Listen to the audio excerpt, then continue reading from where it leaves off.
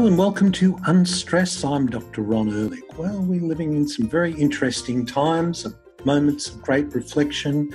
We've covered some of those issues. We're going to cover many more in the weeks and months ahead. But today was such a great opportunity to speak to what I believe is one of the world's top science writers. His name is Julian Cribb, and Julian has written many books and inspired many people and we're going to be talking about many of those issues today. I'm not going to spoil it for you, um, other than to say I hope you enjoy this conversation I had with Julian Cribb. Welcome to the show, Julian. Thank you, Ron. Julian, uh, you are a prolific writer, uh, and I've read so many of your books, and I wanted to discuss those with you today. Uh, but I wondered if you might just share with our listener a little bit about your story and how what got you to this point. Yeah, well, uh, I, as you say, I've been a, a, journalist and a newspaper editor for nigh on 50 years now. Um, I've been writing about science for nearly all of that time, uh, but I've been a specialist science writer really since the mid 1990s. Um, and I wrote about science because it was journalistic freedom to me. You can write about anything you like. Um, and as I progressed in my science writing, I began bumping into more and more scientists and grandparents such as myself um, and uh, young millennials who were all rather despairing and saying, Is this the end of uh, history as we know it? Um, and, and that concerned me deeply. Um, what I knew was that we were in some considerable trouble, but I didn't know how bad that trouble was. But I thought as a science writer, it's possible for me to delve into the best science in the world and find out exactly what is going on. What does the best science say about the many and various risks that humanity is manufacturing for itself? And that's basically where it went. I started off looking at the food risks because that's the area that I knew best. Um, but I pretty soon branched out into all the other risks as well. Mm. Um, and uh, you know I, have written four books and uh, well many thousands of articles since that time. Yeah, well, I became very aware of your work with the Poisoned Planet, which was published in 2014, and I know you're going through a revision of it, as only one can, given the scale of the problem. Can you tell us a bit about that book and, and some of the learnings that you know you shared with your reader there? Yeah, that, that grew out of uh, work that I did for a, um, a cooperative research centre called the Cooperative Research Centre for Contamination Assessment and Remediation of the Environment, CRC CARE, and with Professor Ravi Naidu in particular, who headed that up. And, and they were looking at the issue of contaminated sites and how do you clean them up. Um, but they started broadening that out into more and more different aspects of contamination um, and I found this absolutely fascinating. And the more I delved into it, they used to hold these big conferences where scientists from all over the world would, would attend um, with their own stories of, of local pollution. And I began to see this big jigsaw puzzle assembling before my very eyes. Every single one of these stories was a story of local pollution. So it might be air pollution in Beijing, or water pollution in Shanghai, or water pollution in the United States. But it started to add up to me to a very big picture. And that's the advantage of being a science writer. Unlike a scientist, you're not confined by a single area of discipline. You know, you can you can look at the big picture. You can assemble all of the pieces uh, and and see what sort of a picture you get. And I started to get very very concerned at the enormous scale of the pollution of the planet that was taking place. Um, and uh, I started to rough out some numbers on the back of an envelope, and it quickly um, struck me that, that the pollution of the planet that we're doing by all the various means that we have actual production of toxic chemicals, but also the unintentional release of soil and polluted water and things like that.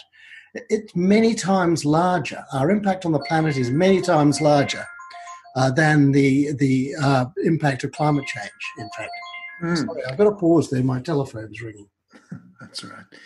Um, the interesting thing about the chemical side of things is that it's not only the chemicals that are produced as an end product, but there's so many others that are given off as waste along the way as well. So many more chemicals than we even imagine we're, we're being exposed to. We're exposed to. Yes, and, and I have to say that the chemistry, the chemical industry, has been very disingenuous about this. You know, and and they've they've run this. They've relied. I find this extraordinary. They've relied on this old chap called Paracelsus, who was around 500 years ago, a Swiss alchemist of all people, who, who said the dose is the poison. So whenever you ask a, a, chemical company, is their product poisonous? They say, oh no, as long as you it's less than so many parts per billion in your in your glass of water or your pizza or whatever it is, it, it's harmless. And that, of course, is complete and utter bullshit. Um, you know that, that, really that chemical can combine, uh, it can mount up in your system, it can bioaccumulate, um, it, it, it, can uh, produce new chemicals, it can produce daughter products. Uh, there's all sorts of things that can happen there. So, by, by saying to society, don't worry about it, chemicals are safe, we've been using them for years. Um, these guys are just they're, they're fudging it to put it politely and and they're uh, they're lying flat out to, to, to put it more directly mm. um, and the medical science which is really piling up now and there are tens if not hundreds of thousands of medical papers now that are making the connection between various chemicals or mixtures of chemicals and various human diseases. And we had the Lancet Commission come out two years ago and estimate that 9 million people, 9 million people were dying of, uh, of chemical poisoning of one sort or another, or diseases started by it, every single year. So that's 50% higher than the death toll in World War II. You know, so this is a really serious this is a really serious issue, and even that is a very large underestimate because, for example, it doesn't include cancers, and we know that anywhere from thirty to fifty percent of all cancers are triggered by uh, some kind of chemical in your environment acting on your genes, uh, you know, scrambling your your, your cells, uh, your immune system in some way. Hmm. So, uh, you know, the, the, picture is probably much, much worse than 9 million. It, it's probably of the order of 14, 15 million. Uh, and and we don't know. The, the, answer is most of the chemicals that we produce, there's 140,000 of them, have never been tested for human safety. Um, or they've, they've only been tested in a very vestigial manner. For example, the, the, the um, maximum residue limits are, are set on the basis of, a, of an adult male. That doesn't tell you whether children are getting poisoned mm. by the same chemical at those supposedly safe rates, or whether women or people of lower body mass uh, are, are, getting poisoned. So there's a lot of there's a lot of misleading information going on about this, and I felt that it was my job to try to bring together all the science I could find on this topic, but put it in in, in a way that ordinary consumers uh, can understand and use in their daily lives as they try to avoid these things. Hmm. Well, it is ultimately we as consumers that drive the market for those chemicals, and uh, you know by making informed choices, and, and this is a story that's very easy to miss. But once you hear it, very difficult to ignore. You came out of that book. I know that at the end of that book, you had various um, you know, there were principles that we should adopt. Could you just share a couple of those with us? Yeah, well, um, I feel that there ought to be a human right not to be poisoned. And we've got a human right not to be tortured, you know, and, and uh, we've got a human right, you know, to, to a, a, healthy life. We've got a human right to, you know, democratic expression of our views. There's all kinds of human rights.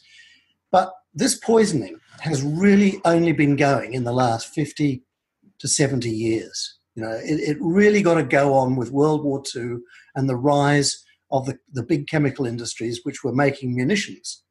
Uh, you know, they made the, the, the, poison gases and the shells and God knows what in World War II. so, so really, that chemistry industry is what's doing the, and of course, the, the massive outgrowth in the petroleum industry, because a lot of these things are made from petroleum. Uh, so, it's a very recent phenomenon.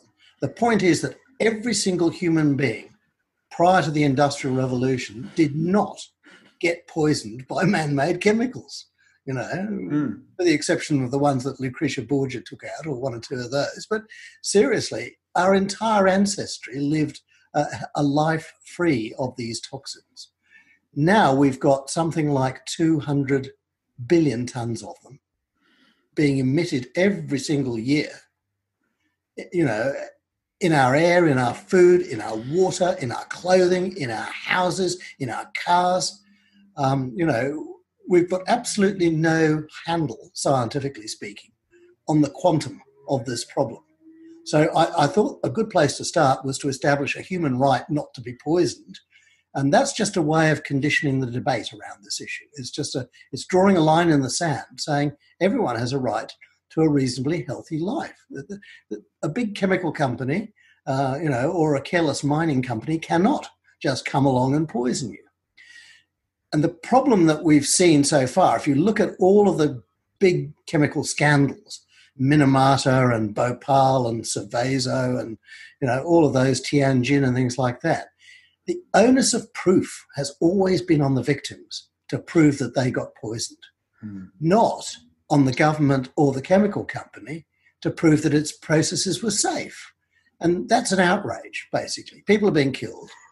They're being killed, you know, the, the chemical companies know they're killing people.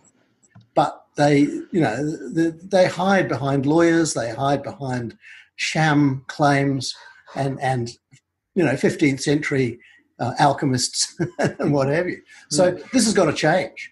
And, and, I think the push has got to come from the medical profession. The medical profession has got to front up and say, enough of these things. And they're starting to say that. Get them out of our food, get them out of our air, get them out of our water. Um, and consumers have to be given the right information so that they know what they're buying. Yes. Well, it's interesting. I mean, the regulatory bodies that have largely been dismantled and in the last 40 or 50 years are not a small part of the problem. But it's interesting to consider. I think there was um, Eisenhower, President Eisenhower, in 19, when he left in 1961, said the thing we have to fear most is the influence of the industrial and military, the unsolicited influence of the industrial and military complex. And this is translated into this very issue that you raise in your book, isn't it? Yes, it has. I mean, uh, the, the, chemical industry is not as powerful as the coal and oil industries, although they're so closely related to one another, there's hardly any light, daylight between them. Um, it is true that governments like the American government and the Australian government are pretty much in the pockets of the of the large fossil fuels industries. Um, and you know, a lot of the poisoning that is going on around us is the result of the activity of those those big industries. I mean, for example, um, we, we are moving away from coal and we're moving away from oil. And the oil industry is now so frightened that it's putting all its efforts into developing new petrochemical products that are all going to be toxic. And the classic example is plastics. The reason the world is flooded with plastics is that oil companies were no longer able to make so much profit from motor fuels. So they transferred their effort to value added plastics and, and other products, including pharmaceuticals. So, you know, it, they're just they're just shifting the bloody the, the, the playing field uh, underneath our very feet to keep on polluting the world that we live in, and that's got to stop. Mm. I mean, there is a, such a thing as green chemistry, uh, which is chemistry that is harmless and that, that involves recycling of things, and uh, you know it's pretty innocuous. We need to be doing much more of that, so that that's not going to happen unless consumers put the pressure on manufacturing companies and others to stop doing the bad stuff and start doing the right stuff. So, so there has to be a risk and reward process set up. You know, we're going to have to pay companies to produce sustainable, safe, healthy products it's going to cost more money. Um, but that's got to happen if we want to stop dying of these horrible diseases. Mm. Well, it's it's the this idea of seemingly cheap food and products are not so seemingly are not so cheap when health and environmental costs are factored into the cost of these low cost products. It's it's uh, we need a more holistic way of accounting for it, and we're going to come to one of those in a moment. but uh, another book, and I know you are going through a revision of this 2014 book uh, as we speak, really, aren't you? Is that what you're working on now, Julian? Oh, yes, it is. Um, so, so I'm working on a book for Cambridge University Press, which updates all the information in that, goes to the very latest science. And since I wrote Poisoned Planet about six years ago, seven years ago, uh, there's been a tremendous amount of new science, particularly medical research, uh, come to light that makes the connection between various chemicals and various diseases. I mean, I, I think we've gone through the same phase that the world went through with tobacco um, back in the 1980s and, and 1990s and things like that, where there was huge denial on the part of the industry. There was mounting evidence, you know, on behalf of the Surgeon General and everybody else that cigarettes can kill you. But, you know, even so, it, it took a, a tough and bloody struggle to get the acceptance that cigarettes produce all these what 7,000 different chemicals, mm-hmm. any of which can kill you. Um, so, so you know they're, they're bad for your health. It took a long, long time. Well, but we have to make the same argument about plastics, about uh, additives to our food. There's something like 16,500 different chemicals can get in your food. You know, the, the number has magnified in the last 30, 40 years dramatically. More chemicals used on farm, more chemicals used in food processing, um, you know, more chemicals in food packaging. You know, it, it, it's, it's a very alarming state of affairs. Mm. And very little monitoring going on worldwide. I mean, the, the Americans um, test the blood of, of their people. And guess what they find? They find that nearly every American is a walking contaminated site. they're absolutely mm. full of industrial chemicals and carcinogens. Yes. And and you know other studies have shown this goes right the way back to uh, infancy, and even into the womb. You know, babies are now being born with a with a load of 200 industrial chemicals already in their blood. Hmm. So you know, I mean, we're we're in a dire situation. But what has not happened is there has not been the focus on this issue, like there has been with climate change and the Intergovernmental Panel on Climate Change. There hasn't been a worldwide focus on this. Scientists have been talking about it, consumers have been talking about it, but there has not had anything like the profile, scientifically speaking, of, of the climate issue. Mm, yes. Well, um, then another book that you wrote was called, and very prescient title, considering what we are going through in this year of 2020, but it was Surviving the 21st Century. I mean, there's a catchy title if ever you wanted one for the 21st century. Tell us about that book.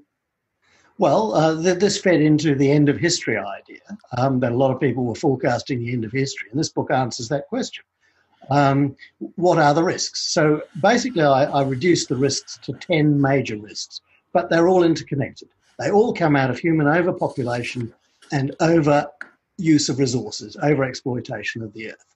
So all of them fall out of that but they go all they include nuclear war you know they, they include the, the chemical poisoning thing we've just mentioned um, they include uncontrolled new technologies like artificial intelligence and mass surveillance and things like that. So what i did was i took each one of those threats and i described the threat as science sees it and the debate around it scientifically. And then i listed the solutions from a, from a human species point of view. But i also put in a little box at the end saying, This is what you can do in your life to, be, to, to, to live more safely, to, to help change humanity away from this suicidal course. Basically, because these things taken together will almost certainly bring down civilization if we do not fix them. And in several combinations, they could actually extinguish us as a species. Mm. And one of them, of course, was a pandemic disease. Yeah, and pandemic disease is connected with all of the others because it comes out of the fact that we're extinguishing wild animals all the way around the world. So viruses that live in bats and pangolins and God knows what have to go and live in the human compost heap because it's the biggest available, you know, bunch of carbon on the planet for them to survive in. They've got no choice. There's not enough bats left. We're cutting down the rainforests where all these animals lived, and that is bringing humans into closer contact so that's allowing the, the, the, the, the spillover, the transmission from one species to another to take place. Normally, you don't catch foreign viruses from other animals. You know, um, it takes an awful lot of effort to actually to, to, to get a breakthrough of a virus into human beings. Um, and and you, the circumstances have to be exactly right for it to occur.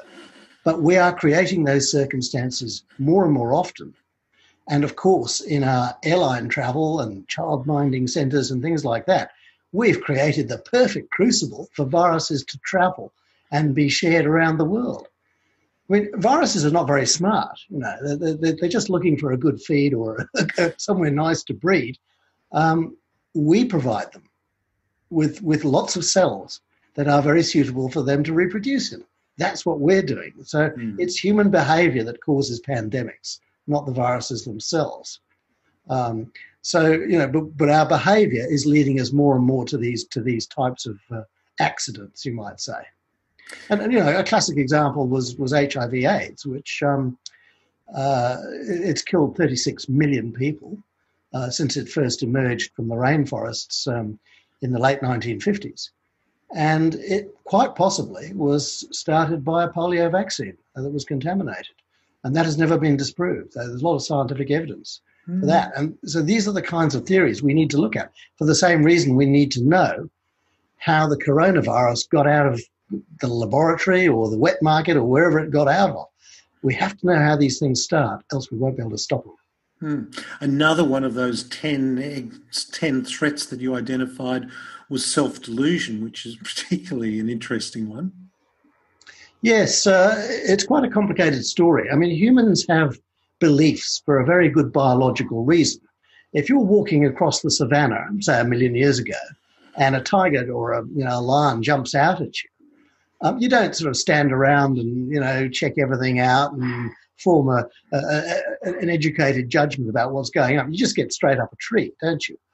What has happened in that instant is that your senses have detected a threat, and your mind has painted in the rest of the picture for you. Whoops! It might be a lion. Oh, it turned out it was only some wild pigs or something else like that. You know, but you what you've done is you've you've painted a belief and that belief saved your life right? So so that's what beliefs are actually for. But as society emerged and we got more complicated beings we began to you know attribute the beliefs to god or to you know traditional stories and things like that. Now we have a situation where the beliefs are getting totally out of control. They're being manipulated by all sorts of people by politicians by religious people by um, money marketeers uh, you know, by uh, uh, filmmakers, by all sorts of people. They're, they're playing on our capacity for beliefs to give us a false view of the world. And if we have a false view of the world, a false understanding, the threats are very much more likely to actually, uh, you know, to, to destroy us. Mm-hmm. Well, you know, one thing to write a book, of course, Julian, and you've written a few, as you've mentioned, but it's another one to inspire a university, in fact, one of Australia's leading universities, the ANU down in the Australian National University in Canberra, uh, to form a commission, the Commission for the Human Future. And your book, Surviving the 21st Century, actually did lead to just that thing. Can you tell us a little bit about the Commission for the Human Future? Yeah, sure. Well, a lot of the credit goes to Professor Bob Douglas, uh, a, a, retired epidemiologist from the ANU, who who read the book and, and thought that there was something in my arguments and that people ought to be aware of all the threats that we face and, and we ought to start coming up with some solutions.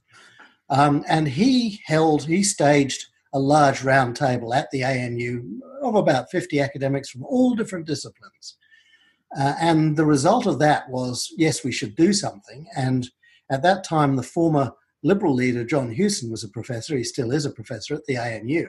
And he suggested that one of the things we could do was actually form a commission whose purpose was to inform people, give them the scientific advice about the nature of the threats we face, and to also to, to bring people together to try to come up with rational, sensible, and lasting solutions to them. So that was what the what got the the Commission for the Human Future off the ground. And uh, we've had one round table where we discussed the threats in general. Uh, we're about to discuss the food threat as our next topic, uh, and we'll just go on rolling all the way through the threats and the opportunities um, over the coming year or two. Hmm. Well, I know the report in, uh, I think it is March of 2020, just tabled uh, its first, well, I don't know whether it was first report, but its report, uh, Surviving and Thriving in the 21st Century. And um, we'll definitely have links to that downloadable report. It's about 38 pages, brilliant, really, um, and the show notes for this podcast. Um, the and as you say, it brings together an array of experts in a very holistic way of thinking that one of these, none of these, in fact, 10 existential threats, as they're called, act in isolation, do they? No, they're all connected. And this is the point. You have to come up with solutions that cross cut all of them. You hmm. cannot solve one threat if you're going to make another threat worse. That does not make humanity any safer. So, for example, uh, if you try to solve the food crisis by pouring more fossil fuels and chemicals on the land, you're only going to make the climate crisis and the ecological crisis and the human poisoning crisis and all these other crises worse. So, what we're doing at the moment to increase food production is actually making several other crises much worse. Uh, we have to, in other words, reinvent food. Uh, we have to go for renewable food. Uh, so it's not pillaging the earth to grow our food. So th- those are examples of the kinds of changes that we're likely to recommend uh, to people. And we want to inform not only politicians and industry, but particularly, you know, the person in the street, the average citizen, what they can do in their lives to make this a safer earth for their grandchildren. Hmm. Well, I, I, know you also, I think I heard you give a statistic which stuck in my mind that topsoil is being lost at the rate of, did I get this right, 75 billion tonnes a year or something like that. Anyway, a huge amount. And that uh, I had the pleasure of talking to John Hewson in recent weeks, and uh, he was mentioning that regenerative agriculture was an important part of many of these solutions. Yes, he's absolutely right. I mean, we cannot feed ourselves if we devour the earth by so doing uh, you know, that's just a, a dead end. Um, so if we destroy the soil space and the water base and the ecological base for agriculture, we are not going to be able to feed 10 billion people in the 2060s. That's, you know, and you add to that climate change, that's going to damage agriculture more than somewhat. Hmm. So the system we've got for producing food at the moment will not last. It, it's not sustainable. So it has to be replaced with something new. Um, I dealt with that in my book, Food or War, described a system that is sustainable, how we can produce food sustainably, a circular system where we keep on renewing the food supply um, from the nutrients that, that we've got. We don't have to plunder the earth any longer or cut down any more rainforests to grow enough food for ourselves or produce enough food. So the, the point is that these things sound dire and grim, but there are solutions there, and the solutions are all capable of making us wealthier, happier, more prosperous, of improving our well being, improving our health, you know, um, improving our relationship with the natural world. Uh, so, you know, the, the solutions actually offer us a wonderful future if we can only get our head around them and, and get them implemented. Mm. Yes, I mean, it ticks so many boxes. You can only wonder why. You mentioned that uh, you, the other book that I wanted, and you've just touched on it as well, your more recent book in 2019, Food or War. And I was particularly struck by the fact that Professor Paul R. Ehrlich uh, wrote a, a, um, a, piece on the front, you know, recommending the book as a must read. And Paul Ehrlich, Professor Ehrlich, was a guest on our podcast also last year. Um, tell us a little bit more about about that that book, the issues you mentioned, the circular economy. Can you expand on the circular the concept of the circular economy a bit more? Yeah, sure. Um, well, basically, food or war. The hypothesis there is that when people don't have enough to eat, or they haven't got enough land to produce it, or enough water to produce it, they fight. And the evidence is we've been doing that for 20,000 years. Okay. So, you know, what is a country? A nation. A nation is a, a line drawn around basically your farms and your fishing rights, your fishing grounds. Uh, it, it protects your food resources. Everybody is conscious of their food resources. And, you know, World War II began because Hitler wanted the Russian farmlands for German farmers. Okay, that was the primary motive for his starting World War II. You can go into the German history books and find that out. So this this contest over food resources underlies two thirds of the human conflicts that we that we have seen through history. So if we want to not fight in the 21st century and not risk a devastating nuclear war, then we need to get the food thing right first. But if we get the food thing right, if we produce a sustainable food system, uh, then we are going to be able to rewild half of, of the area now occupied by our farms and, and grazing lands. So we're going to be able to end the sixth extinction. We're going to have a much healthier diet than we've got at the moment. And basically, we're going to simply turn over our, our food supply. And, and let me just illustrate this with a, a city. There, there is no city on earth that can feed itself at the moment. They all import their food from from miles away, where it's generally produced by a process of mining the topsoil and the water and, and the environment. And that's an unsustainable system. If, however, you captured all the nutrients that pass through that city on their way to the tip or on their way to the sewage farm or something like that, and you put them back into food production in one form or another, you know, growing algae, which you feed to fish, which you feed to consumers, that sort of thing, if you did that, most of our cities could, in fact, feed themselves. So, part of the idea here is that we, we have cities semi self sufficient in climate proof food. Uh, and, and that's not hard to achieve. You know, it may be expensive, but it's not hard to achieve. It's physically quite possible. And people are doing it all around the world now anyway. So um, that, that's going to be one of the big changes that food production is going to come back into the cities to make cities more food secure than they are at the moment. In, in COVID, we've seen the food system nearly break down because it has to come from thousands of kilometres away in a series of ships and trucks and planes and what have you. That's a very vulnerable system when you have to uh, fight a pandemic uh, at, the, at the same time. So we need to produce more food locally, and we need to do it by these modern methods of intensive food production in cities and also in the deep oceans. There's a huge scope for aquaculture, both of plants and fish, in the deep oceans, which we have not even scratched the surface of yet. So, all of these processes are part of what's known as the circular economy, which is everything we throw away, we don't actually waste. We just take it back into the production process again. It's the same as your aluminium can. 86% of the aluminium in the world today gets recycled into new tin cans or new aluminium products. So if we can repeat, replicate that for, for nutrients and for other metals and for building materials and for clothing, uh, textile fibers, then we have solved the problem of the throwaway society, of the endless growth society.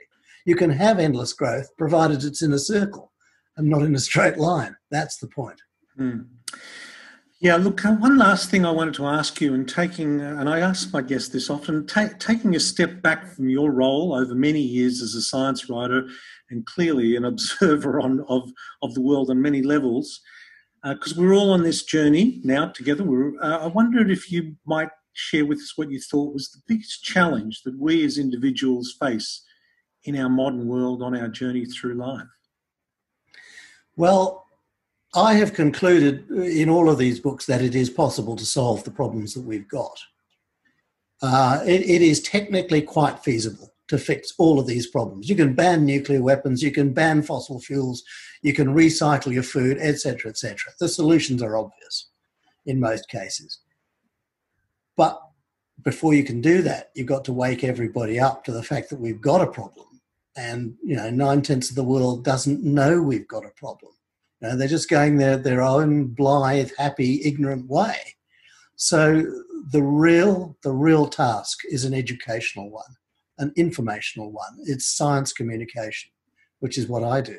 It's sharing the knowledge that scientists keep with the wide, you know, seven, nearly eight billion people um, on the planet today, so that they can implement it in their their daily lives and in the cons- consumer decisions that they make. And I, I, think that's the big challenge. We, we've got the technology to solve all our problems. We do not have the institutions, nor do we have the level of education that is necessary to solve them. So it is on the human side that we actually fall down. Hmm. Well, Julian, you are playing your very significant part in this with your writings, and I want to thank you so much for joining us today. We'll have links to your books, your website, and, and that commission report. And uh, thank you again. Thanks very much indeed, Ron. Well, I've had the pleasure of listening to Julian. That's why I, I, invited him. I think I've mentioned to our listeners that I have the honour of being president of the Australasian College of Nutritional and Environmental Medicine. We are currently, well, from May right through May and June, uh, putting on an eight week uh, conference called Environmental and Viral Disruptors Rising to the Challenge, Reducing the Risk and Future Proofing Humanity. And Julian has presented three presentations at that conference, each of those books that we touched on the uh, Poisoned Planet, Surviving the 21st Century, and Food or War, all about food security. And of course, his work, as I mentioned, um, uh, inspired the formation at ANU of the Commission for the Human Future. The chair of that was uh, Professor John Hewson, and he opened the ACNEM conference. So the ACNEM conference touches on so many issues that uh, Julian talked about in this in in this podcast, and of course he covers so many issues we cover in this podcast. And if you wanted to go back and listen to um, um, Alan Savory, for example, and that's why we reissued Alan Savory's um, uh, very inspiring uh, episode where he talked about holistic context that before governments, before organizations, before individuals make any specific decision, they need to view it in a more holistic context. And and uh, Julian was referring to the human the Commission for the Human Future, and he touched on 10 existential threats which his book and the Commission have focused on, and they are ecological collapse and extinction. We are going through the sixth great extinction, global warming, weapons of mass destruction, including nuclear weapons, of course, resource scarcity, global poisoning, food insecurity, pandemic disease, population, uncontrolled technology, and the last one, which um, is perhaps the most interesting, because unless we get this one right, none of no none of this is going to change, and that is self delusion.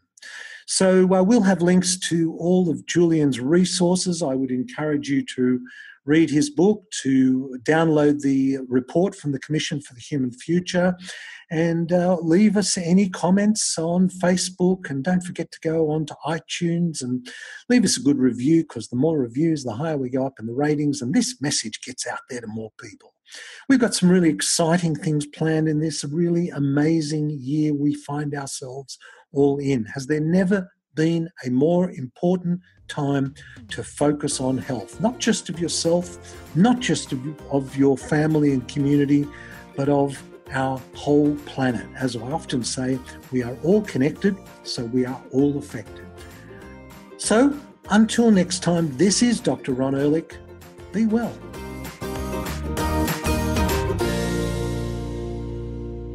This podcast provides general information and discussion about medicine, health, and related subjects. The content is not intended and should not be construed as medical advice or as a substitute for care by a qualified medical practitioner. If you or any other person has a medical concern, he or she should consult with an appropriately qualified medical practitioner. Guests who speak in this podcast express their own opinions, experiences, and conclusions.